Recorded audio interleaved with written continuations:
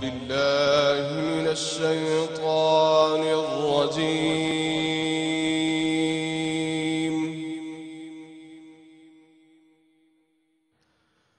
بسم الله الرحمن الرحيم.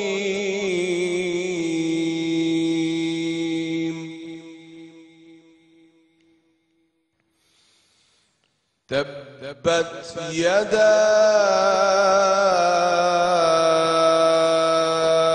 أبي لهب وتب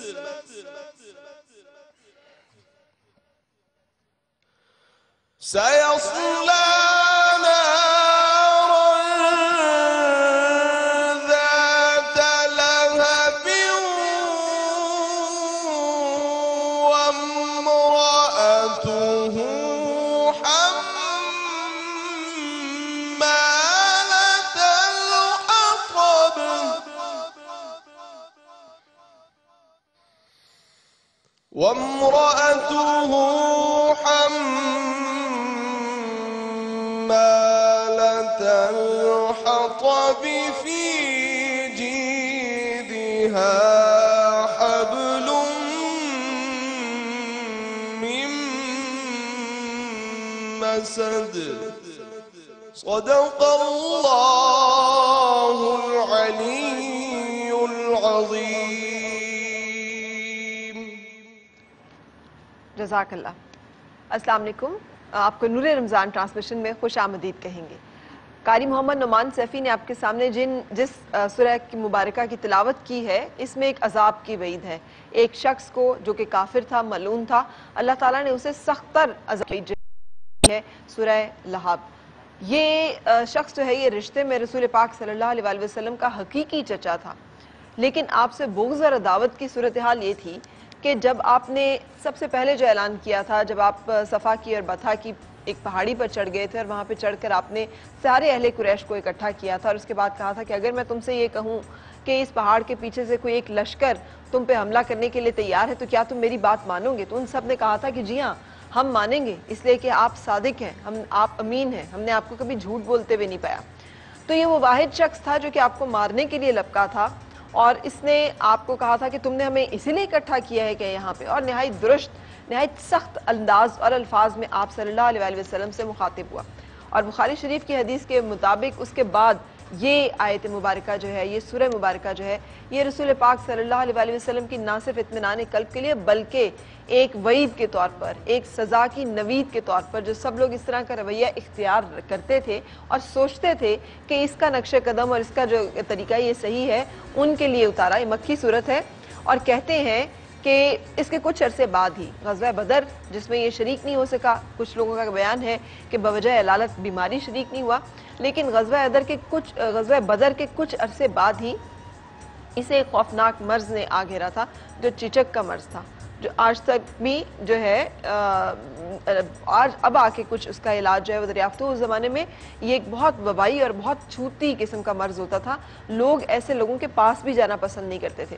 تو یہ شخص جو کہ اتنا مال اسباب والا، اتنے رتبے اور مقام والا، اتنے جاہ و منصب والا، اور چونکہ اس کا نام بولہب، اس لیے کہ شولوں کی سی دہکتی رنگت اس کی ہوتی تھی، اور اس لیے کہ بڑا شولہ بیان تھا، بڑا تند مزاج رکھتا تھا، بہت غصہ ور تھا، تو ان تمام چیزوں کی نسبت سے اسے بولہب جو ہے وہ کہا جاتا تھا۔ لیکن اس بولہب کی حالت اور قسم پرسی کا عالم دیکھیے کہ جب اسے جزام یعنی کوڑ کا مرض ہوا تو اس کی حالت یہ تھی کہ تافن اللہ معاف کرے اس کے پاس سے آتا تھا اور اس کے اپنے اس کے وہ سب لوگ جو اسے سردار مانتے تھے۔ سمیت اس کی بیوی، اس کے بچوں کے۔ کوئی اس کے پاس آنے کے لیے تیار نہ تھا۔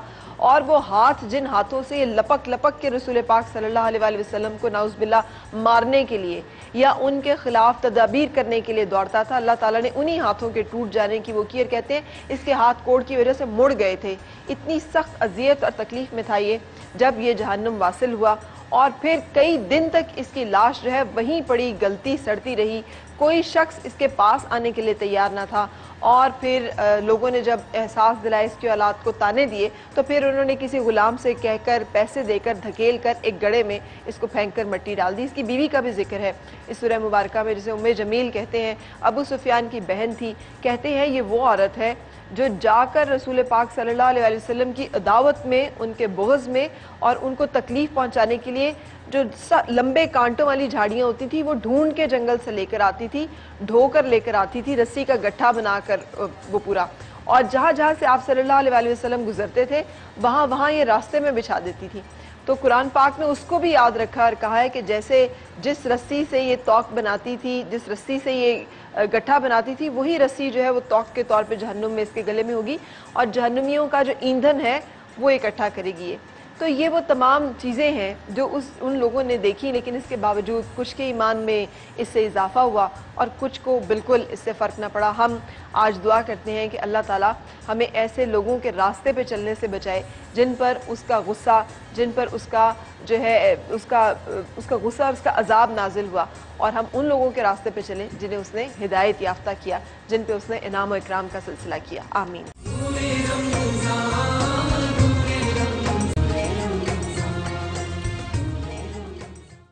خوش آمدید آج جس بزرگ کا ہم تذکرہ کرنے جا رہے ہیں سمہا میری ان سے ایک روحانی عقیدت اور نسبت ہے۔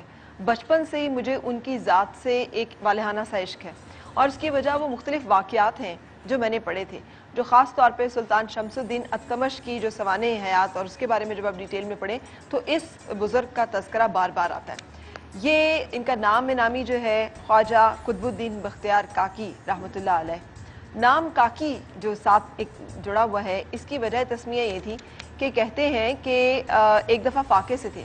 تو جب فاقے سے تھے تو نازل ہوئی جو چیزیں وہ کاکیں تھیں۔ کاکیں ان کی زبان میں، افغانی زبان میں اور جس جس جگہ سے ان کا تعلق ہے، وہاں پہ کاکے روٹی کو کہا جاتا ہے۔ ایک اور واقعہ جس کا کہ تذکرہ سیر القتاب میں ہے کہ جب آپ دہلی تشریف لائے تو کسی سے قرض نہیں لیتے تھے، کسی سے کچھ، جسے کہتے ہیں، نذرانہ یا کوئی چیز ایسی نہیں لیتے تھے۔ اب ایک گھر میں بھوک کا اور ظاہرہ فاقے کا عالم ہوتا تھا اکثر، ایک شخص ہمسایا تھا۔ تو بیوی جو ہے وہ اکثر ہمسائے کے پاس جا کے قرض مانگ لیا کرتی تھی۔ ایک دفعہ بھی جب گھر میں فاقے کا عالم تھا تو وہ قرض مانگنے کے لیے دو ٹکے قرض مانگنے کے لیے گئی۔ تو اس کی بیوی نے جو ہم پڑوسی تھا، اس کی بیوی نے تانا دیا کہ اگر ہم نہ ہوں تو تم لوگ تو بھوکے مر جاؤ۔ اب بیوی کو یہ بات جو ہے بہت ناگوار گزری۔ آ کر حضرت سے اس کا تذکرہ کیا۔ تو انہوں نے کہا کہ یہ جو روشن دان ہے، جب تمہیں بھوک لگا کرے تو بسم اللہ الرحمن الرحیم پڑھ کے یہاں سے کاکیں اٹھا لیا کرو۔ تو یہ بھی کہتے ہیں کہ ایک نسبت ہے، جس کی وجہ سے نام نامی جو ہے، وہ خواجہ قطب الدین بختیار کاکی جو ہے، وہ ٹھہرا۔ حسینی سادات ہے سلسلہ جو ہے، حضرت امام جعفر صادق رضی اللہ تعالیٰ عنہ سے جا کے ملتا ہے۔ پانچ سو بیاسی سن میں ولادت ہوتی ہے آپ کی۔ اور ولادت جو ہے، وہ بھی ایک بڑی باکمال کہ آپ کی والدہ یہ بیان کرتی ہیں کہ جب ولادت ہوئی تو ایک نور تھا، ایک تجلی تھی۔ کہ جس نے انہیں ہر طرف سے گھیرا ہوا تھا اور بچہ تھا پیدا ہوتے ہی اس نے سجدے میں گیا اور پھر والدہ کو اللہ کی طرف سے بشارت ہوئی کہ جو نور تم دیکھ رہے ہو، یہ ہمارے سے ایک نور ہے۔ پھر یہ بچہ جو ہے، یہ جب والد کا سایہ جو ہے، ڈیڑھ سال کا تھا، سر سے اٹھ گیا۔ اور آپ ایک قدر مشترک دیکھیے، شیخ عبد القادر جیلانی کا ہم پڑھتے ہیں تو وہ بھی والد کا سایہ سر پر نہیں ہے۔ آپ رسول پاک صلی اللہ علیہ وسلم جیسی ہستی دنیا میں تشریف لاتی ہے تو والد کا سایہ سر پہ موجود نہیں ہے۔ اسی طرح سے یہ بھی یتیمی میں جب تھوڑے سے بڑے ہوئے تو والدہ نے سوچا کہ ان کو کسی شیخ کے، کسی اہل علم کے سپورٹ کرنا چاہیے۔ تو ہمسائے کو انہوں نے کہا، چونکہ باپردہ خاتون تھیں، نہیں لوگوں سے میل جول اور میل ملاپ تھا، تو انہوں نے ہمسائے سے کہا کہ اس بچے کو کہیں لے جائیے، کسی اچھے اہل معرفت، اہل علم کی درگاہ میں، درسگاہ میں، جہاں سے یہ فیض حاصل کر سکے، تعلیم حاصل کر سکے۔ تو وہ جو شخص ہے، وہ بچوں کو، جو ہمسایہ تھا، وہ بچے کو لے کے چلا تو راستے میں ایک اور شخص ملا۔ اور اس نے کہا کہ انہیں ابو حفظ کے پاس لے جاؤ جو کہ اس زمانے کے ایک بڑے عالم تھے۔ تو اور یہ کہہ کر وہ خود بھی ساتھ آیا اور جب ان کے پاس پہنچے تو انہوں نے ابو شیخ ابو حفظ کو یہ کہا کہ احکم الحاکمین، اور یاد رہی یہ احکم الحاکمین کا جو درجہ اور مقام ہے، یہ صرف اللہ تعالیٰ کی ذات باری تعالیٰ کے لیے، صرف وہ احکم الحاکمین ہے۔ سو چونکہ یہ آپ یہ جسے کہتے ہیں، اس زبان میں بات ہو رہی ہے جو یار کی زبان کو یاری سمجھتا ہے، تو بتایا گیا انہیں کہ احکم الحاکمین کی طرف سے حکم ہے کہ اس بچے کو اپنی صحبت میں، اپنی فرزندگی میں، اپنی شاگردی میں لے لیجیے۔ تو جب وہ شخص وہاں سے، جو کہ راستے میں ملا تھا، چلا گیا، تو بزرگ نے، شیخ ابو حفظ نے اس بچے کو بتایا کہ تم بڑے خوش نصیب ہو، اس لیے کہ حضرت خضر خود تشریف لائے تھے اور تمہیں میرے حوالے کر کے گئے۔ سو اس سے یہ بھی ہمیں پتہ چلتا ہے کہ جب توکل کرتے ہیں ہم اللہ تعالیٰ کی ذات کے اوپر، تو والدہ نے تو پڑوسی کو دیا، لیکن سپرد اللہ کے کیا کہ میرا بچہ جو ہے وہ کسی اہل علم کے پاس پہنچ جائے، تو اللہ تعالیٰ اس کے لیے اسباب، ذرائع اور وسیلے خود سے فراہم کرتا ہے۔ بعض اوقات جو ہم بہت ساری چیزیں چاہتے ہیں ہم خود سے کر لیں، ہو سکتا ہے وہ ہم نہ اتنی اچھی کر سکیں جتنا جب ہم اللہ کے اوپر ڈال دیتے ہیں، تو وہ جیسے اس کے لیے راستے بناتا ہے۔ اچھا پھر یہاں سے چلتا ہے سلسلہ، شیخ پڑھانا شروع کرتے ہیں، تو کہتے ہیں، پندرہ سپارے مجھے یاد ہیں. تو انہوں نے پوچھا کہ اتنی کم عمری میں پندرہ سپارے تمہیں کیسے یاد ہیں؟ تو انہوں نے کہا، میری والدہ پندرہ سپاروں کی حافظ تھیں اور بچپن سے ہی اور ایون پیدائش سے پہلے ہی میری والدہ اس کی بہت زیادہ تلاوت کیا کرتی تھیں۔ تو میں وہ سنا کرتا تھا۔ تو مجھے ان کو حفظ کرنے میں اور ان کو یاد کرنے میں کوئی مشکل نہیں ہوئی۔ اور آپ کو شاہ صاحب شاید پتا ہو، میں نے بہت عرصہ پہلے یوٹیوب پہ ایک ریسرچ شیئر کی تھی کہ یہودی جو ہیں جنہیں ہم جیوز کہتے ہیں وہ اپنے بچوں کی ٹریننگ جب وہ شکم مادر میں ہوتے ہیں یعنی پریگننسی میں ہوتے ہیں تب سے شروع کرتے ہیں۔ بڑا اچھا تب مارننگ سے ہاں تب سے اور یہ ریسرچ ہے باقاعدہ۔ اور یہ ہمارے ہاں بھی حکم ہے کہ اسی طرح بچوں کی پیدائش بچوں کی پیدائش سے پہلے ان کی تربیت ان کی تربیت کرو۔ تو اب جو ہے وہ یہی چیز ہے یہاں پہ ریپیٹڈ آج ریسرچ پروو کر رہی ہے کہ جو مائیں جو پیرنٹس جو فیملیز اپنے بچوں کو ان دنوں میں جب وہ پریگننسی کے دنوں میں ہوتے ہیں جو بچہ سنتا ہے جس طرح کے ماحول کو وہ فیل کرتا ہے اس طرح کا ماحول اس کی شخصیت میں ریفلیکٹ کرتا ہے۔ تو اس ولی کی زندگی اور حالات زندگی میں بھی ہمیں اس کا پتہ چلتا ہے۔ پھر جاتے ہیں خواجہ معین الدین چشتی اجمیری کے ہاتھ پر بیت مرید ہوتے ہیں اور جو جو واقعہ بڑا خوبصورت ہے کہ آپ صلی اللہ علیہ وسلم رسول پاک صلی اللہ علیہ وسلم نے حضرت خواجہ معین الدین چشتی اجمیری کو یہ کہا کہ خواجہ قطب الدین بختیار کاکی کو خرقہ عطا کرو اس لیے کہ وہ اللہ کے دوست ہیں۔ سو یہ بھی ایک بڑا رتبہ اور مقام اور پھر اس کے بعد جیسے میں نے آپ کو شروع میں بتایا تھا کہ سلطان اتمش کے ساتھ ان کا بہت، سلطان اتمش ان کا مرید تھا۔ وہ اپنی تمام فتوحات، اپنی تمام چیزوں میں ان کے ساتھ بہت جڑا رہا۔ اور اگر آپ اس سلطان کی زندگی کو پڑھیں تو وہ بھی ایک خدا خوفی رکھنے والا ایک ایک بزرگ تھا۔ جس کا معاملہ اور احوال اس طرح سے آشکار ہوا، لوگ یہ سمجھتے تھے کہ جو سلطان ہیں، جو بادشاہ یہ وہ لوگ ہوتے ہیں جو بڑی عیش و عشرت میں پڑے ہوتے ہیں یا جن لوگوں کی زندگی جو ہے وہ آسانیوں کے ساتھ اور خدا سے دوری میں گزرتی ہے۔ لیکن جب ان کی وفات ہوئی تو آپ نے ایک وصیت چھوڑی اور وصیت یہ تھی کہ میرا جنازہ وہ پڑھائے گا جس نے کبھی اثر کی جو ہے نا، سنتیں وہ قضا نہیں کی ہوں گی۔ جس نے سنت سنت اولا جو ہے، جو فجر کی، وہ قضا نہیں کی ہوگی اور جس زندگی میں جس نے کبھی زنا نہیں کیا ہوگا۔ کہتے ہیں بہت بڑے بڑے عالم وہاں پر اس وقت موجود تھے۔ اور جسے کہتے ہیں دنیا کے بہترین عالم جو اس وقت موجود تھے۔ لیکن ان کی یہ وصیت سننے کے بعد، چونکہ ہر ایک شخص سے چاہ رہا تھا کہ وہ امامت کرے، اور ہر ایک شخص سے چاہ رہا تھا، یہ سعادت ان کے حصے میں آئے۔ اب حضرت کی جب یہ وصیت اور شرط پڑھ کے سنائی گئی تو کوئی بھی شخص اس پہ پورا نہیں اترتا تھا۔ ہر ایک شخص خاموش رہا۔ جب کافی دیر خاموشی کا یہ عالم رہا تو شمس الدین التمش خود اٹھ کے کھڑا ہوا اور اس نے کہا کہ میرا یہ پردہ تھا جو میرے حضرت نے آج یہاں پہ فاش کرنا چاہا ہے۔ پھر اس نے امامت کروائی اور اس سلطان کی امامت میں اس دور کے بہت سے ولیوں نے بزرگوں نے نماز جنازہ جو ہے وہ ادا کیا۔ تو بعض اوقات یہ بھی ہمیں اس بزرگ نے اس بات کو بھی کھول دیا ہمارے سامنے کہ ضروری نہیں ہے کہ جو لوگ مسند پہ بیٹھے ہوں وہ بے راہ رو ہی ہوں۔ ہو سکتا ہے کہ اپنے عہد کے بہت بڑے ولیوں کی نسبت وہ ایک شخص جو ہمیں نظر آتا ہے دنیا دار ہے وہ زیادہ اللہ کو محبوب ہو وہ اللہ کے بندوں کے زیادہ نزدیک ہو۔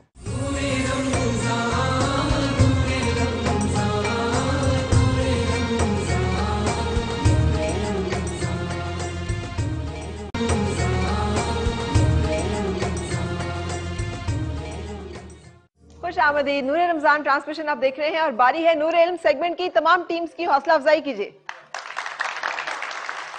تعارف کراتی ہوں میں اپنی آج کی ٹیمز کا۔ پہلی ٹیم ہے پنجاب یونیورسٹی کی ٹیم، جس میں مظفر الحق اور احمد رضا شامل ہیں۔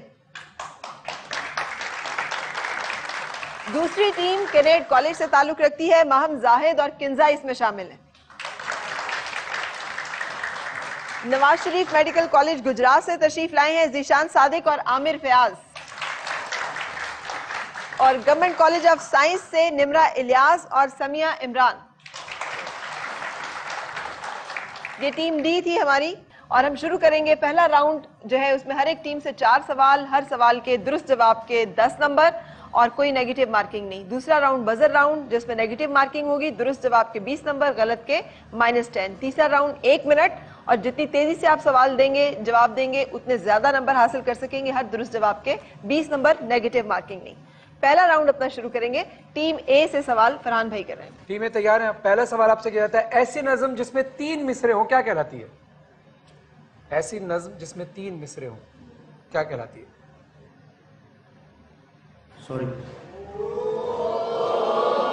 مسلس کہلاتی ہے۔ صحیح جواب لیکن آپ نے غلط جواب دیا بلکہ اب جواب نہیں دیا۔ سوال ہے پروین شاکر کی آخری کتاب کا نام بتائیے۔ مجموعہ کلام تھا یہ ان کا۔ شاعرہ پروین شاکر کی آخری کتاب کا کیا نام؟